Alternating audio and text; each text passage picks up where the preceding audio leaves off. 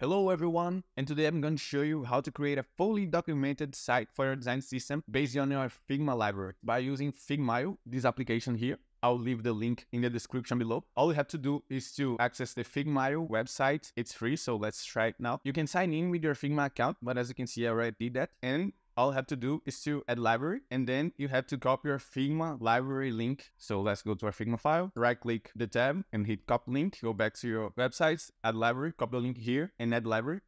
As you can see, I already did that before because it can take a while. So let's see view site. As you can see, I have the documentation of my library here in form of the design system. Let's see colors. So I have all my colors here grouped the same way I did in Figma with the option to copy the RGBA, hex, CSS, and so on. Let's go see typography. I have all my typography scale here with the specifications of weight, size, line height, and letter spacing. The same goes for effects, my drop shadows here, elevation, also with the option to copy the CSS properties in JSS. Now let's go to the components themselves.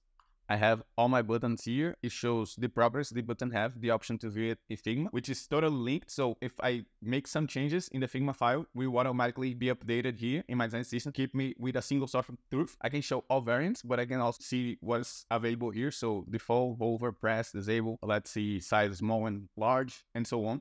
So these are all my buttons. I can see all options here. I have segmented buttons here and I can see now example of segmented buttons and I can see the variants that I have here as well. And also the notes I added for this component in Figma is also added here. All the documentation is imported. Let's see another one just to wrap this up. Checkbox and toggles. I have my checkbox here. I can show all variants. I can add label, hide label, show the different status.